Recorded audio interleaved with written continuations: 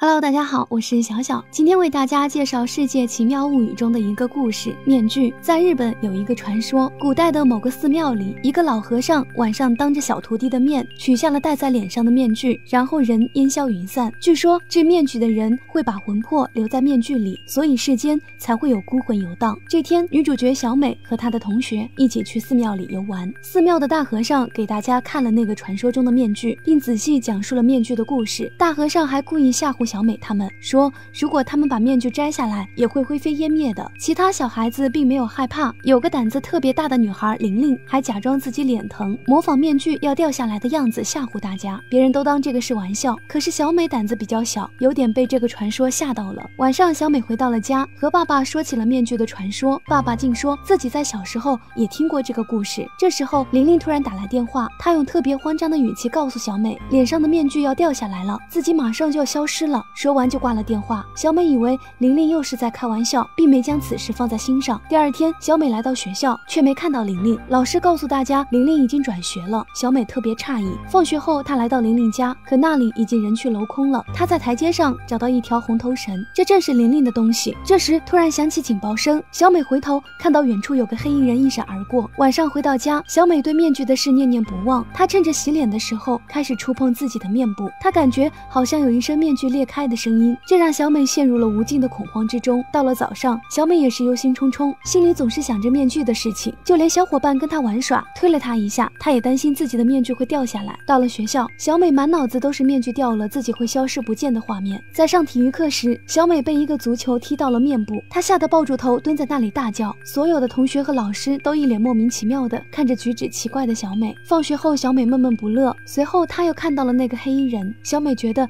黑衣人正在跟。跟踪自己，他十分慌张，拼命往家跑，但却撞在了黑衣人身上。这个黑衣人长得和寺庙里的面具特别像，小美吓坏了。她绕开黑衣人跑回家后，还做了一个噩梦，梦到黑衣人来家里把她的面具取走了。为此，小美吓得大叫。爸爸妈妈听到小美的叫声，赶到她的房间，他们告诉小美根本就没有什么面具，她也不会消失的。小美觉得爸爸妈妈不会骗自己，就安静的睡下了。可是爸爸妈妈却坐在客厅里愁眉不展。随后，黑衣人竟出现在小美家。黑衣人跟爸爸妈妈打了招呼，径直走向小美的房间。他拿出工具，竟真的摘下了小美的脸。原来人类因为环境问题，已经有二十年没有生育过了，所以发明了一些可以寄托人类情感的智能机器小孩，而小美就是其中之一。黑衣人将小美松动的螺丝修好，然后告诉小美的爸爸妈妈，已经把那段记忆删除掉了。小美以后不会再为面具的事而担心了。第二天早上醒来后的小美果然不再记得面具的事，她和之前一样，